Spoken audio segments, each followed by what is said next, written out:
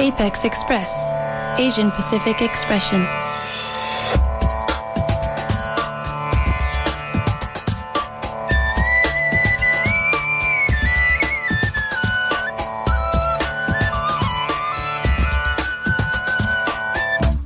Community and cultural coverage. Music and calendar. New visions and voices. Coming to you with an Asian Pacific Islander point of view. It's time to get on board the Apex Express. You are tuned into Apex Express on KPFA, bringing you an Asian and Asian American view from the Bay and around the world. I'm Tara Dorabji, kicking it with you on this Thursday night. Tonight on Apex, we'll be talking with poet Shivani Narang about her performance in APAture, an arts festival featuring emerging Asian artists presented by Kearny Street Workshop. Then we'll be taking it global, hearing an interview with detained Kashmiri human rights advocate Khurram Parvez, who was taken into custody on his way to testify before the UN about atrocities committed by the Indian state forces in Jammu and Kashmir. Khurram's detention comes amidst widespread protests in Kashmir. Since July 2016, 82 civilians have been killed and over 11,000 civilians wounded in protests. Then we'll be in conversation with Kathy Jetnil Kijiner, a Marshallese poet, writer, performance artist, and journalist. We'll be talking with her about the International Court of Justice's judgment that rejected a bid by the Marshall Islands to sue the world's nuclear powers for failing to disarm.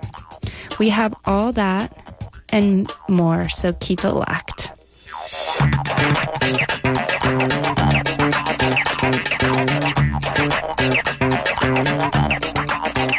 You're tuned into Apex Express on KPFA. I'm Tara Rabji kicking it with you tonight. Human rights advocate Khurram Parvez was detained on September 16, 2016. He was on his way to the 33rd UN Human Rights Council session in Geneva, planning to brief UN bodies, including the UN High Commissioner for Human Rights and foreign governments, on the atrocities committed by Indian state forces in Jammu and Kashmir. Kashmir is the most densely militarized land on earth. There have been more than 8,000 disappearances and 70,000 deaths resulting from India's occupation of Kashmir. Over 60,000 cases of torture have been committed in Indian administered Kashmir. Khurram Parvez is the program coordinator for the Jammu Kashmir Coalition of Civil Society, and his arrest comes amidst widespread protests, which started in July 2016. Since then, there have been 82 civilians killed and over 11,000 wounded in massive protests calling for independence. Over 70 days of curfews have been enforced in Kashmir. Communication systems and mobile systems continue to be routinely suspended. Just this last Monday, the local newspaper, the Kashmiri Reader, was banned.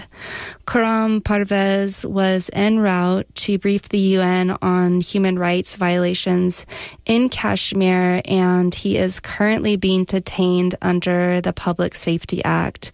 The Public Safety Act of 1978 permits the incarceration of civilians for up to two years on grounds of unconfirmed suspicion.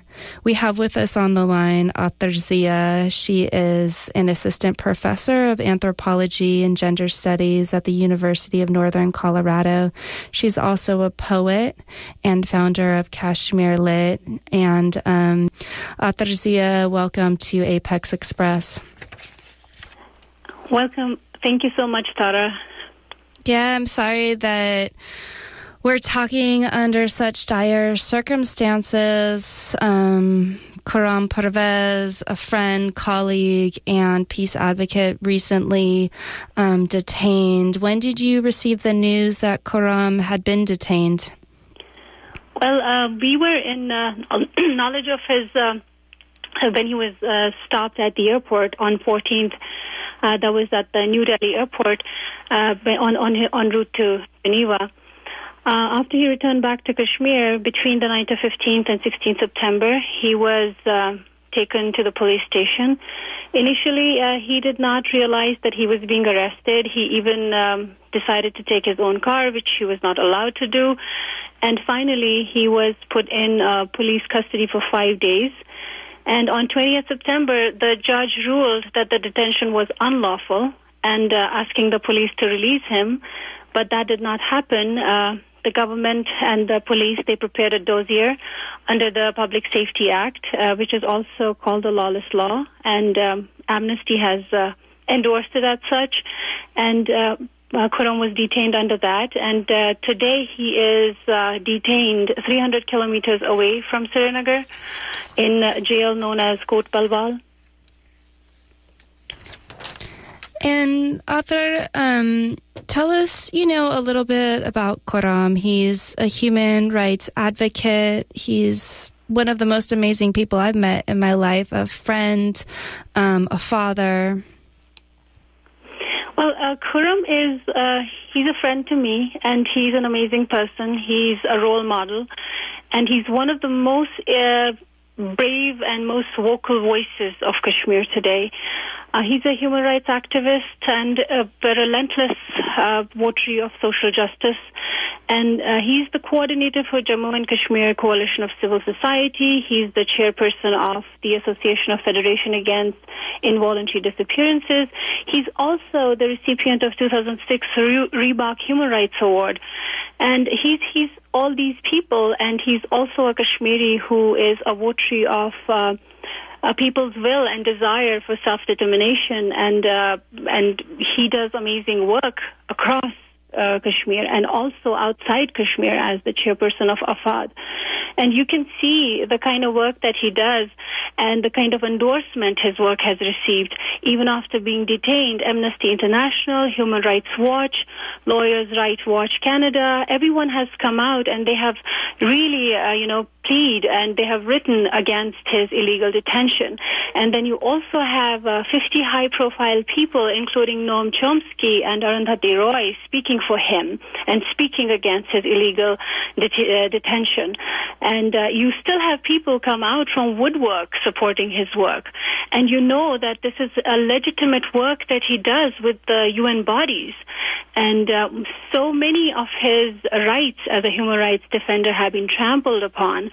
India, which is a state party to ICCPR, and uh, by doing this to Khurram right from the point when he was detained at the Indira Gandhi National Airport en route to Geneva, uh, to the day when he was detained and then when he was shifted uh, to Kot Balwal under PSA. So this is all against what India has signed to as ICC uh, under ICCPR. So we kind of see how his legitimate work has been uh, has really been trampled upon, and this is his work that goes on with the UN bodies, and this is his work that goes on with other human rights organizations, and the, he was also uh, presenting uh, his testimony was on the uprising that is happening in Kashmir right now, and he was to report on the events on the ground uh, before he was detained and before he was sent back from the airport. Athar, I want to go to an interview that I'd done with um, Parvez back in 2011. But before we go to there, how can people um, support the call to free Khurram?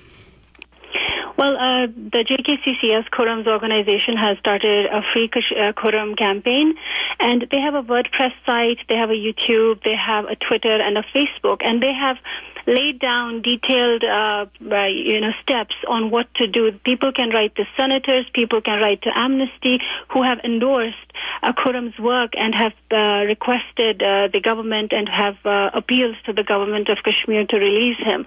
So people can write to senators, Amnesty, Human Rights Watch.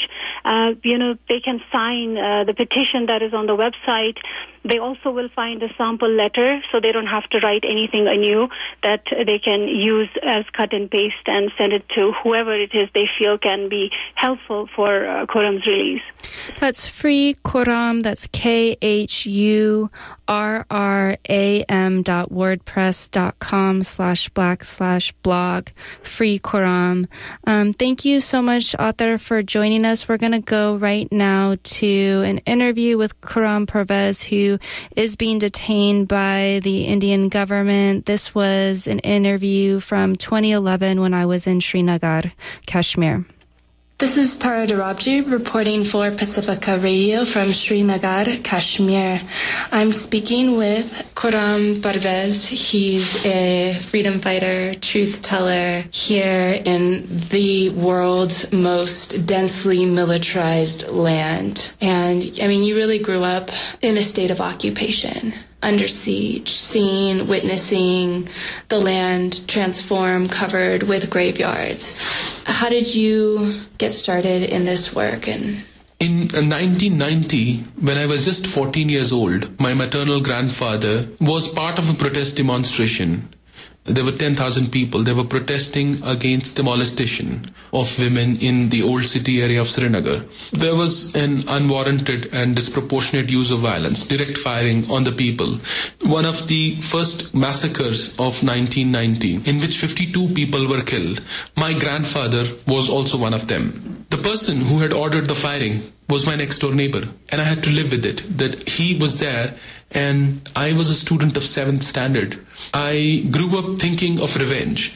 I grew up thinking of this injustice because my grandfather was very close to me. He was someone who had taught me why justice is important, why we should be always thinking of being just ourselves. His words would always remind me of what my revenge should be. Other young Kashmiris of my generation became militants. I could have also become militant. But I think my grandfather's teachings provoked me to think more in terms of achieving justice and speaking truth. In this culture in, of impunity, becoming violent is very easier, but speaking truth is difficult.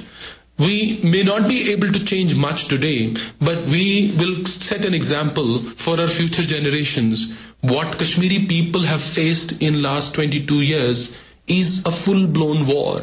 And the resilience of people of Jammu and Kashmir is admirable, is something which is worth sharing with the world we have refused to agree to a, an indignified life. I'm Tara Dorabji for Pacifica Radio in Srinagar, speaking with Khurram Parvez, freedom fighter, truth teller, here in the most densely militarized land on earth, continuing the struggle, keeping the stories alive. And, you know, as the independence movement really grows and popularity and is gaining tremendous strength right now in Kashmir. One of the big questions is what does that independence look like? And I know that coming out of Kashmir in this painful, long, one of the most brutal occupations in the story of the world, a beautiful new vision is being birthed. And really pushing beyond the nation state, pushing beyond the underpinnings of the neoliberal facets of capitalism. Living in Kashmir from last 20 years, the kind of occupation which we have seen from the Indian government is very ruthless. Uh, we have more than 600,000 soldiers. In, and what's in, the population? 600,000 soldiers to what? To, Civilian population? To a population of 12 million people.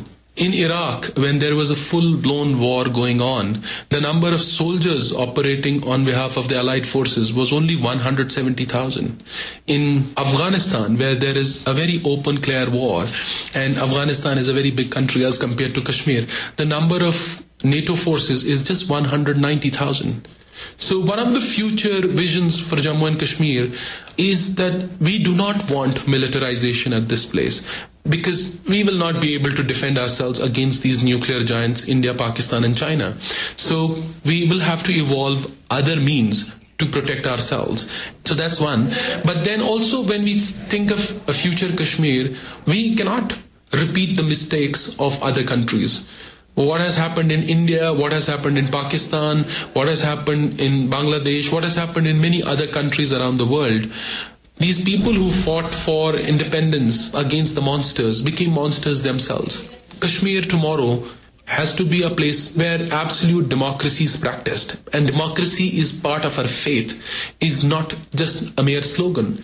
We would want to be a country which practices democracy, which practices humanitarian values at the grassroots level. Tell us a little bit about the summer uprisings. How long were they? How many people? The 2008 and 2010 summer uprisings were huge. The number of people was uh, 1 million, and at some days it was more than 1.5 million people participating in a huge protest rally. More than 142 civilians were killed last year, and 120 out of them were killed in protest demonstrations. And this was the response of the Indian state. And according to the government, more than 5,000 people were arrested, and 90% out of them were tortured as well. But despite all that, for four and a half months, the protests continued. This struggle against Indian hegemony, against Indian brutality, has to be ethical. Resistance can never be unethical. And that gives me hope that future of Jammu and Kashmir is not dark. This conflict has made us understand many, many dark sides of militarism, many dark sides of racism, because we have faced racism from the Indian state so brutally. I'm Tara Dorabji for Pacifica Radio in conversation with Khurram Parvez, freedom fighter, truth teller, and in our final minutes, um, you've grown up in this very brutal, oppressed environment, and one of the things that's struck me about you is you have a very great sense of humor, a lot of light that you carry with you um, in your interactions with people and a certain hope and optimism that shines through. How do you feed this part of yourself? We have seen suffering very closely. I have seen suffering very closely. My, my very close relatives, friends have died. One of the things which became a driving force for me is the trust which people have reposed in me. I cannot think of betraying them. But then our resistance has to be creative. And if we survive with, of course, hope, I think the future holds a lot of good things for us. We are hopeful of success. And one of the hopes for success is the tremendous courage which people have shown. Uh, people sometimes tell us that human rights activists are courageous. True, because we actually invite troubles. I mean, we are so stupid people everywhere in the world that we know the consequences of whatever is going to happen. But despite all that, we embrace problems in 2004, my car was attacked and my colleague Asia Jalani, she was killed and my driver was killed on the spot. And I uh, was also injured. I was hospitalized for 45 days and I lost my right leg. It was amputated. I remember when it happened, I was asked by one of my very close friends, he said that, did we not tell you every time that these would be the consequences? And I smiled at him and I said that, did I not ever knew myself that this would happen? I was sure that something would happen, but I'm thankful to God that it's only one leg which has gone. I still have two more arms and I still have my leg with which I can continue to do what I have to do. We don't have many choices here in Jammu and Kashmir. The only choice which we have is to live. And we cannot live without the struggle for dignity. We cannot live without the struggle for freedom. And I think this is the best I could do with my life. And if people out there want more information, they want to support this struggle, what are some good websites? Well, we have our website, uh, the www.kashmirprocess.org, and then we have another website called jkccs.net. Net. jkccs.net, and the other one is www.kashmirprocess.org. That was the voice of Khurram Parvez. I'm Tara Dorabji for Pacifica Radio. Thank you so much for being with us. Thank you so much for having me here. We'll continue to follow the story, your work, and your existence of resistance. Thank you very much. For KPFA Radio Pacifica, Tara Dorabji, Srinagar, Kashmir.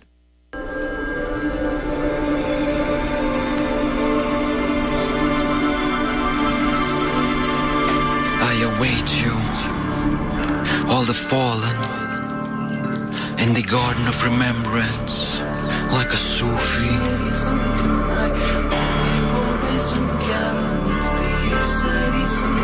And now you swirl in my thoughts. Those are the sounds of MC Kash. You are tuned into Apex Express on KPFA. I'm Tara Dorabji. Yesterday, October 5th, 2016, the International Court of Justice, the United Nations highest court, rejected a bid by the Marshall Islands to sue the world's nuclear powers for failure to disarm under their obligation in the Nuclear Nonproliferation Treaty. The court ruled that it did not have jurisdiction because there was no evidence of legal dispute that it could adjudicate. The people living in the Republic of the Marshall Islands continue to be impacted by the legacy of nuclear weapons tests. The U.S. conducted 67 nuclear tests in the Republic of the Marshall Islands from 1946 to 1958. These tests are equivalent to 1.7 Hiroshima bombs being exploded daily for 12 years. Daily for 12 years. Health effects from the nuclear weapons testing include jellyfish babies, children who were born without arms or without heads, brains, but with a heart that still beat. The lawsuit sought no monetary compensation but moved to compel the nuclear weapons nation signed on to the Nuclear Non-Proliferation Treaty to commence negotiations to achieve nuclear disarmament by 2020. We have with us to discuss the ruling Kathy Jetnil Kijiner, a Marshallese poet, writer, performance artist, and journalist. And we're also joined by Rick Wayman, the program director for the Nuclear Age Peace Foundation. Welcome to Apex Express. Thanks, Tara. Thank you for having me. Yeah, thank you for both joining us tonight. I appreciate you taking time out of your Thursday night. Um, Let's start out with Rick. Can you tell us the significance of the ruling by the International Court that they dismissed the case? Um, uh, yeah, well, uh, as you said in your intro, the uh, the court decided not to hear the cases on the merits.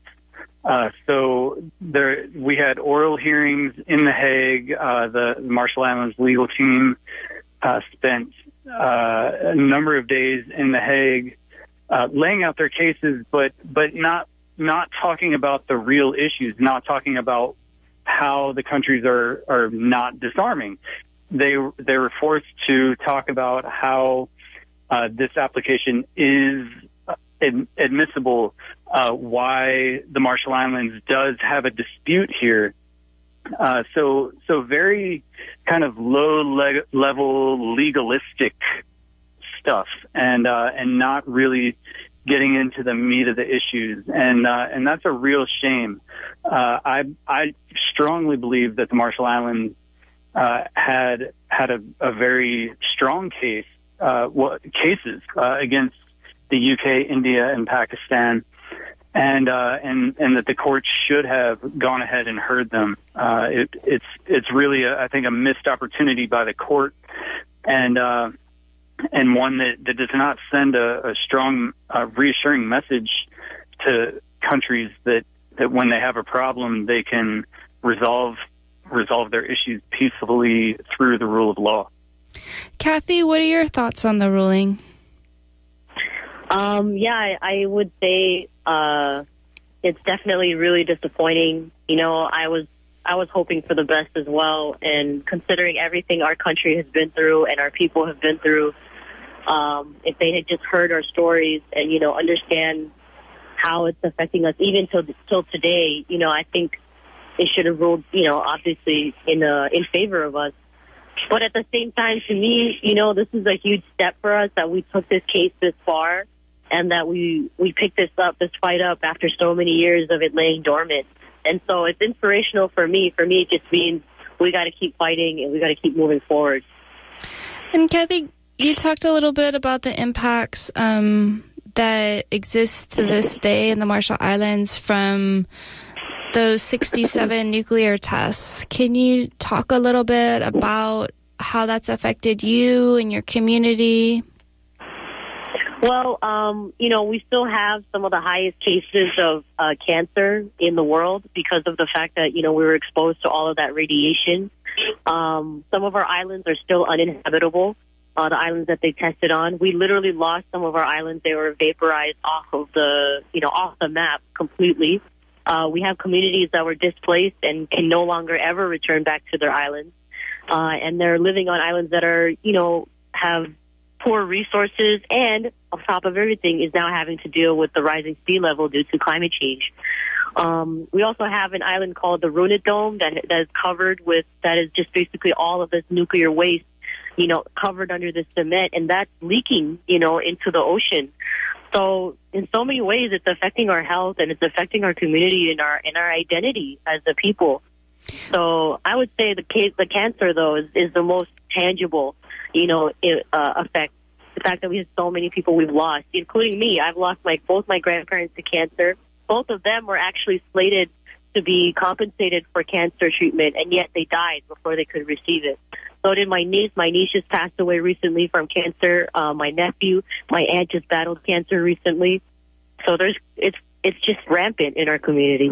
Yeah, I'm so sorry for your loss and you know the experience within your family. And when did you first realize that nuclear weapons testing had happened in the Marshall Islands? Was it something that you just grew up understanding, or was there a moment when you sort of understood the impact of the cancers and the sickness that you were seeing around you being connected to the nuclear weapons testing? Well, uh, I definitely saw, I definitely grew up with an awareness of it, but not fully understanding what it meant until I decided to do a history project on it when I was about 15 years old.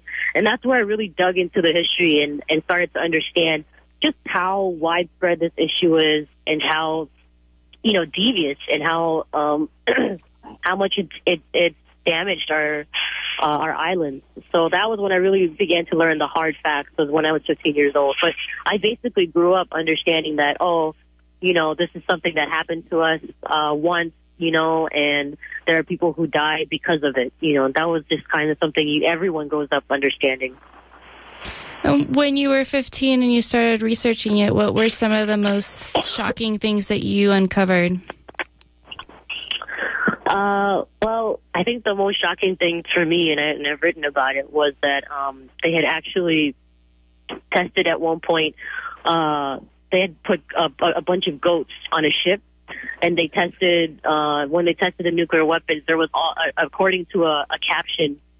So basically, let me sorry, let me start over. There's a photograph of goats on a ship, and on the on the caption of the photo, it says goats were tested on naval ships um, thousands of letters flew in protesting animal abuse.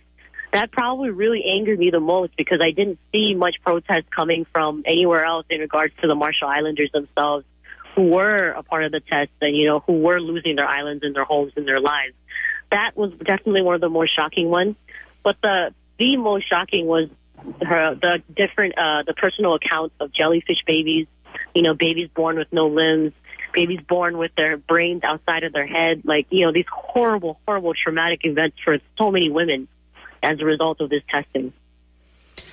And Kathy, I know you're a poet. Um, I don't know. I, am guessing you don't have anything to share with us just because you're at the grocery store.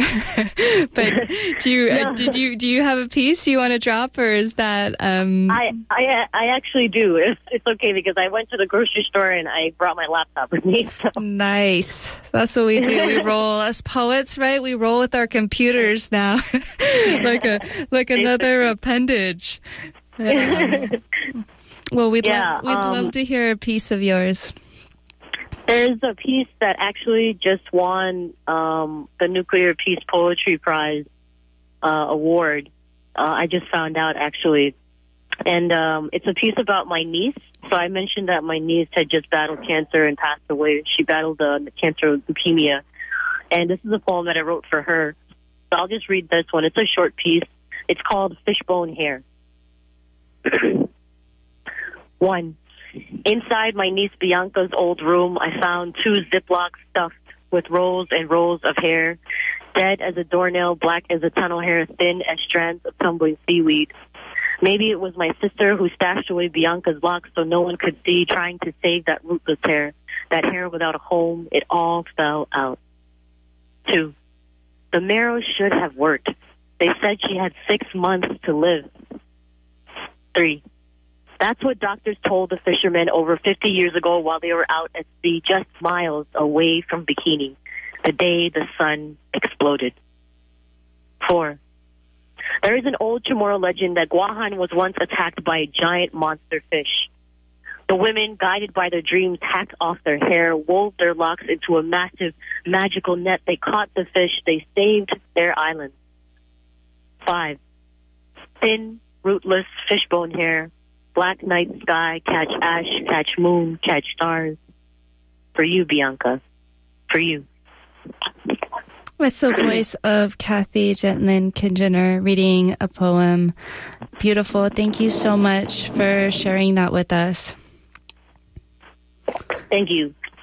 We just have a few minutes left. Um, and, you know, what what is next? Um, you mentioned at the beginning that this lawsuit really inspired you to keep the struggle alive and keep moving forward.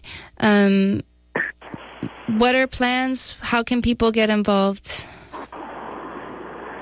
Uh, to be honest, I'm not entirely sure yet. Uh, I feel like I have to regroup with the same team that pushed forward that lawsuit to find out how exactly, you know, we can push forward. You know, we have that. There was a, a, a petition online that was signed by thousands of people supporting our lawsuit, and yet it still didn't move forward. So we have to just keep raising awareness, you know, sounding the alarm wherever we can go. And I think I, for me, I would personally like, in my regards, I would like to connect more with communities, other communities that have, have had to deal with nuclear issues. I'd like to connect with them more, and I would continue writing about it and continue raising awareness on through my poetry on it. Yeah, thank you for your poetry. And Rick, are you still with us? I am, yeah. Great. Where can people find out more information um, about the Marshall Islands and next steps as they evolve?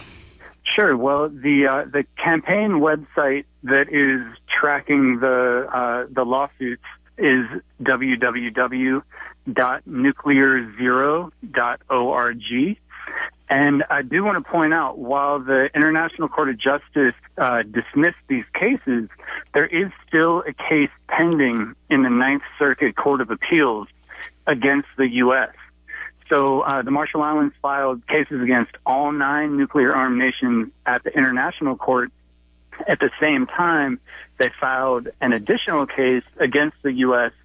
here in U.S. court. So that one is still alive, and uh, and so so we are holding out hope that uh, that there will be some recourse on this issue coming through the courts before too long.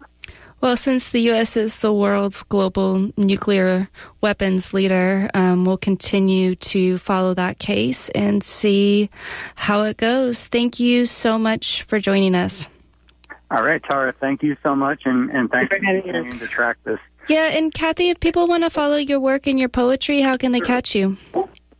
Um, I have a blog site right now. It's called www.kathyjetnilkijiner.com. I'm also on Facebook, Twitter, you know. All right. So, yes, they should be able to find me. Just put my name in. Cool. We'll follow you on cyberspace. Thank you so much for joining us on the airwaves tonight. Thank you for having me. Yeah, you're tuned into Apex Express. We'll be right back after a short music break. Savage thoughts addictive to your system. Intervals of time make us selective. Penetrate your earlobe and all of your protection. Complications I'll provide back in your eye. Fake lead, only for the best interest. I rebel flagrant, the sea fragrance is shoulder. Older six feet deep two tunes from topple. The stamina's crumble, energize hope. Then the sword down slope, the truth emerges. Money the coin drops, both bewitched like Salem's Lot. Prisons for preachers, I'm an atheist. Glad to meet ya.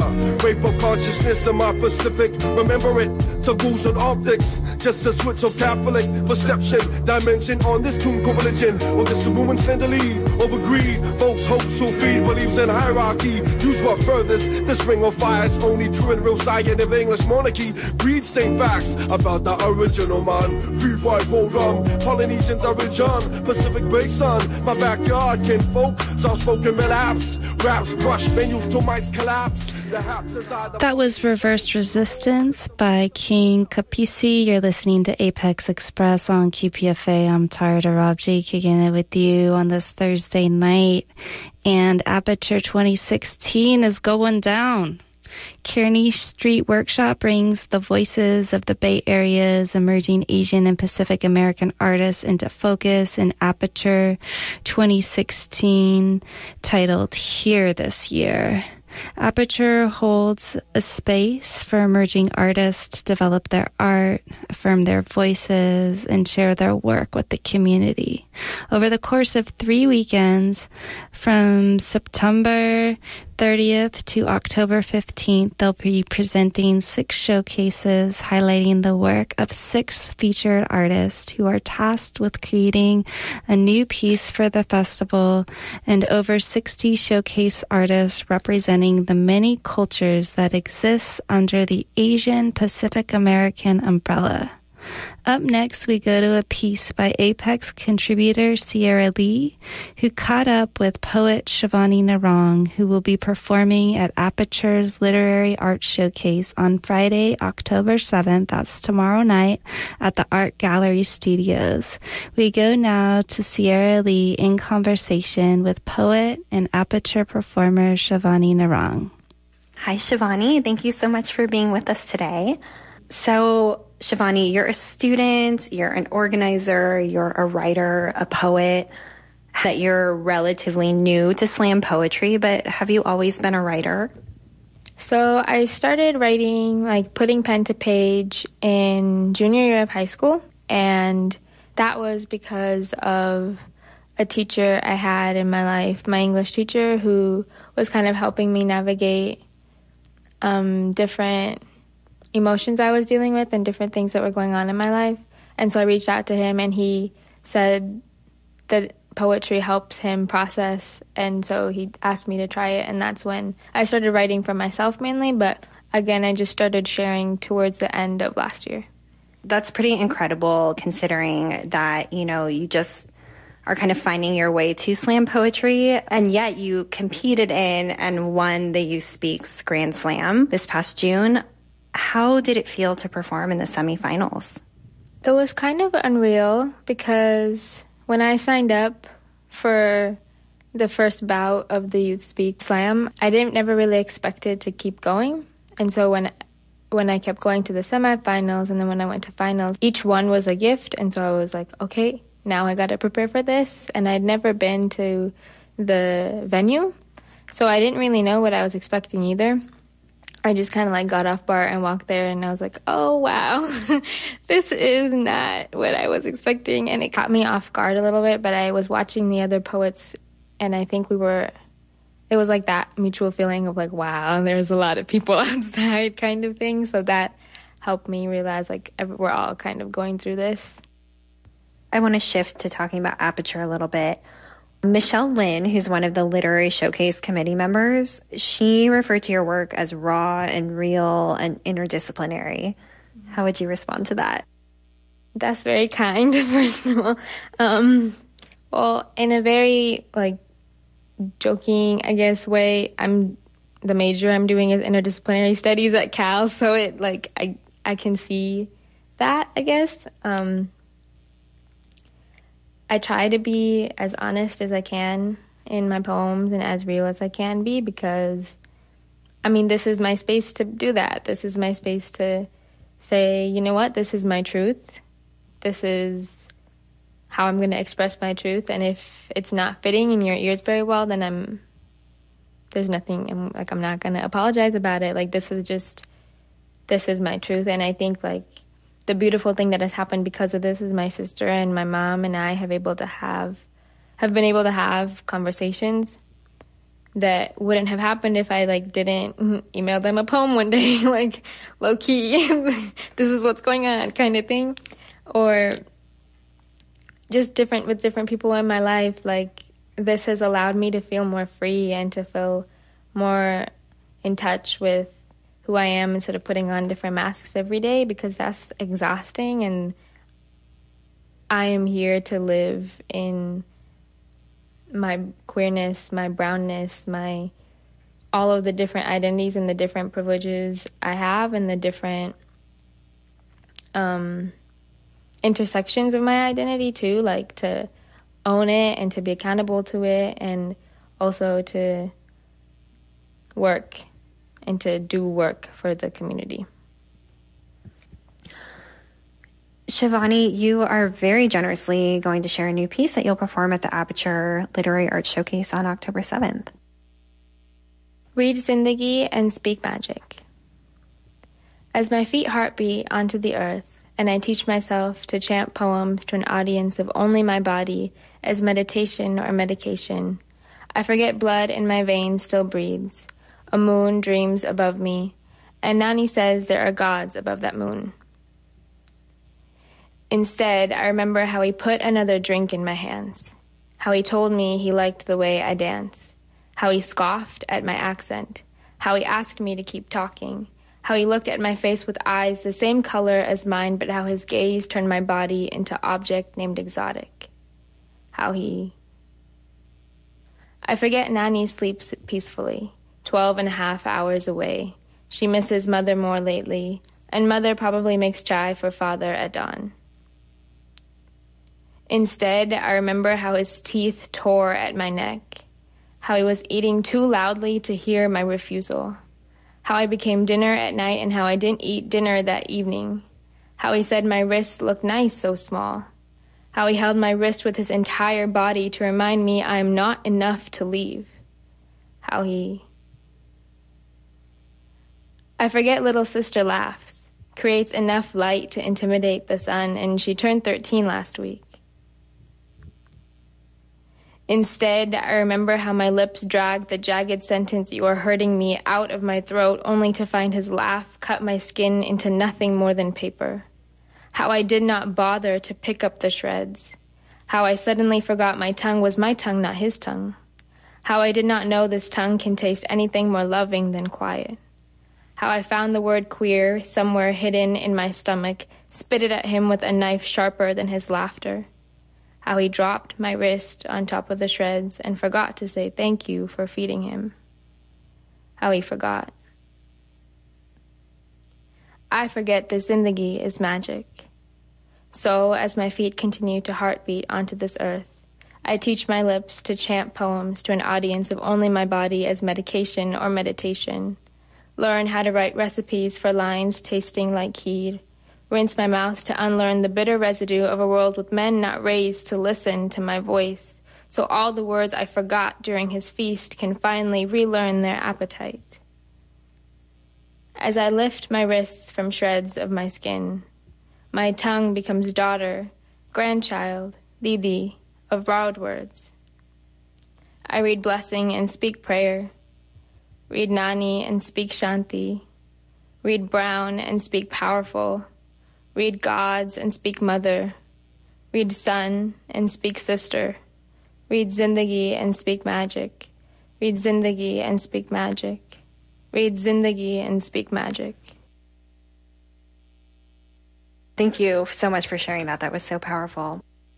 Tell me more about the title of the piece.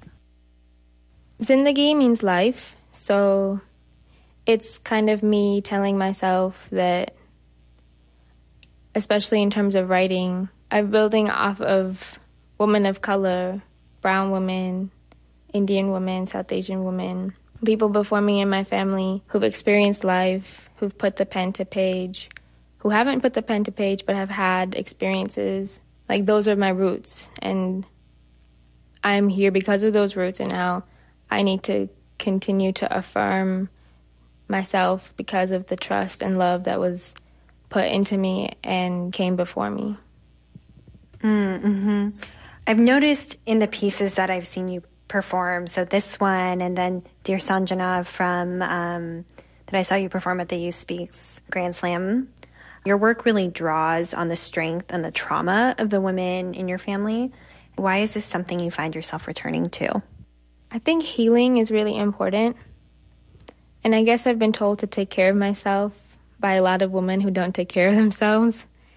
And so it becomes this cycle of us not taking the time and space to, one, understand that we've been impacted by certain actions, words, events, and then to take time to put love into ourselves and heal our bodies and our spirits. And I think I keep returning back to it because it's how I'm healing and how I'm healing based on what has happened to me, based on what I've seen with the women in my family, based on what I'm feeling from generations that I haven't even talked to, but that trauma is still being carried because it wasn't healed in generations before.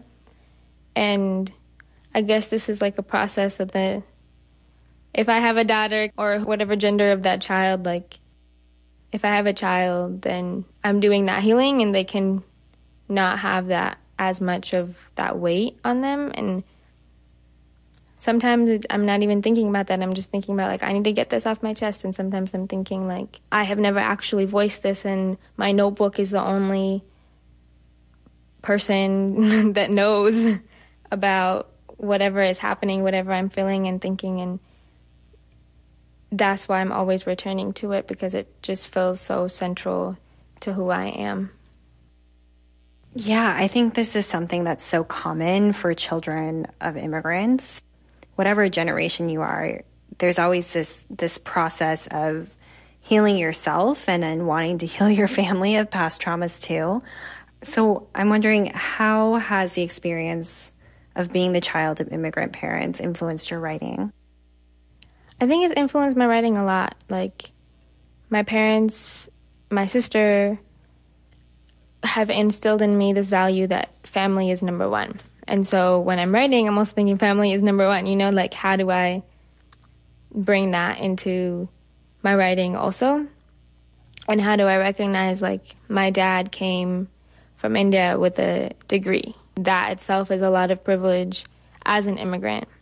And I'm the first person to get educated in this country, but my dad got educated in India. Like, how do I hold that privilege and also, like, how do I hold that privilege, keep myself accountable, and also find ways to use where I'm at to give something.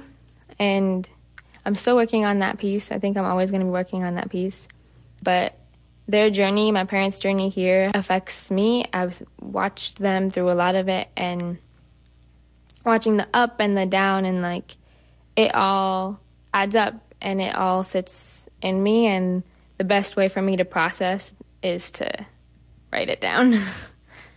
so it's been a pretty short period of time for you between when you competed in the Youth Speaks Grand Slam, you went to Brave New Voices, um, and now you're going to be part of this APAture showcase in the next few weeks. Do you feel like in that period of time that your writing has evolved? I think I'm constantly trying to evolve my writing. So I, I'd like to say yes. Um, I don't know what it looks like from an outside perspective, but I know I've been really in that poetry grind and I make sure I put something on the page every single day, like even if it's like an affirmation to myself or if it's something somebody said or a word I heard or if it's the start of a poem, like that has helped me through the evolving process because before BNV and before applying to APAture and before being in these spaces, I would let it go very easily. I'd be like, that doesn't matter. I'm just gonna like keep going with my day and do the work I need to do and da da da. But now I'm refusing to let those thoughts and those voices go and really being intentional about how much I am putting into my art. And like it's still hard. Like every day I'm like, I have homework, I'm a student, I'm a sister. I'm I work at a bookstore. Like there's all of these different things going on, but in order to grow as a writer and to continue to push my boundaries and challenge myself as a writer and not stay in um, zones of comfort, then I need to be putting the pen on the paper. And do you feel like the subject matter that you're willing to tackle is is also evolving that you're starting to feel more free to explore different aspects of your experience or your identity? I always say that there's always a poem I'm avoiding to write. so even right now, I can think of all these poems that I'm too scared to write and too scared to put on paper. But the Read Zindagi and Speak Magic piece, like a month ago from today, I would not feel comfortable writing that or sharing it. And so I, I think it's constantly just pushing my boundaries and realizing that it's okay if I'm still hiding some parts and it's okay if I'm still working through things because that's just what that's what growing looks like and feels like, and it's not going to be comfortable, but that uncomfort means that I'm committing to growing. So, what is scarier to you then? Is it scarier to confront those experiences with yourself, or is the idea of sharing it with people scarier? To be honest, they're both pretty scary. Sometimes it's really, there's lots of pieces of my experience that I can have conversations of with myself in my head, and nobody will know about it. And sometimes, but unless I get to that point, I can't share it. So I guess like the first piece is like that fear of just talking about it with myself. And then once I get over that, being able to sit in front of a person and be like, this is, and it also depends on who it is. Like with my mentors and with the people in my close circle, I trust them to hold me down.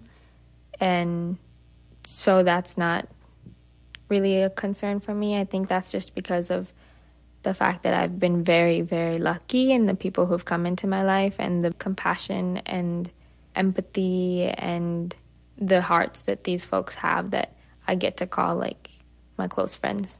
So, do you and perhaps your mentors kind of push you to confront certain things, or do you just let that process happen organically when it needs to happen for you? Mm, I think that's more of an internal thing. Once it's on page, then it's then I can go to the folks who are supporting me and be like, okay, well, this is the truth, and this is like a piece I'm working on. Like, how can we strengthen the piece? But unless I have that conversation with myself, then it's it's hard to articulate it with someone else because I haven't even had the words to put it together. So, are you in the process of writing additional pieces for the APAture Showcase? Yeah, I'm working on some. I'm still editing some pieces. I've, I'm always like I was editing this piece on the BART over here.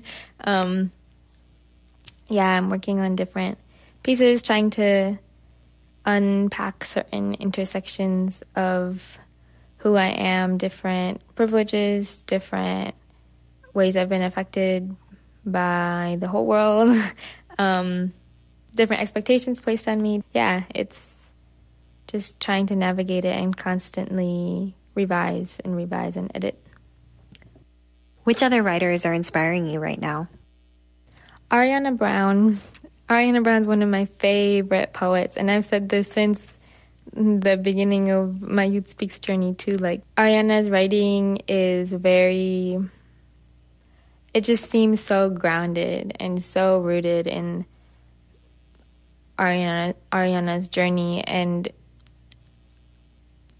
Ariana Brown and Safia Elhillo too. Both of them are two really incredible women of color that I look up to a lot, and they don't really know that because I've never interacted with them really. But they remind me about how important it is to get into those uncomfortable places and to just talk about whatever I'm refusing to let myself think about, kind of thing, and to be grounded in those roots, whether it's like culture, whether it's race, whether it's gender, whether it's age, whether it's socioeconomic status, like to be very, very in touch with that and to share. Great. Well, thank you so much for chatting with me today. Thank you for giving me this space. That was Shivani Narang in conversation with Apex contributor Sierra Lee. Shivani will be performing as part of APAture tomorrow night at the Arc Gallery in the city. You can find details on that, the Performing Artist Showcase, film, and more at Kearny Street Workshops website. And now for the Apex Community Calendar, the book launch for Good Girls Marry Doctors, South Asian American Doctors on Obedience and Rebellion will be Thursday, October 13th from 6.30 to 9 at Southern Exposure, 3030 20th Street. I'll be kicking it there. Also Saturday is Life is Living, October 8th, 10 to 7, Little Bobby Hutton Park. Something for everybody. From a kidstone to free breakfast, skate park, dance stage, amazing theater, and the coup is headlining more at lifeisliving.org. Kearny Street Workshop brings the voices of APAture 2016. You can find all that at Kearny Street Workshop's website. Apex Express is produced by Marie Che, Ellen Choi, Tara Dorabji, Salima Hamirani, Preeti Mangala Shekar, Robin Takayama, and Michael Shikita. Yoshida. Tonight's show was produced by Sierra Lee and myself. I've been your host, Tara Dorabji, with Mike Biggs at the board. Up next is Bonnie Simmons.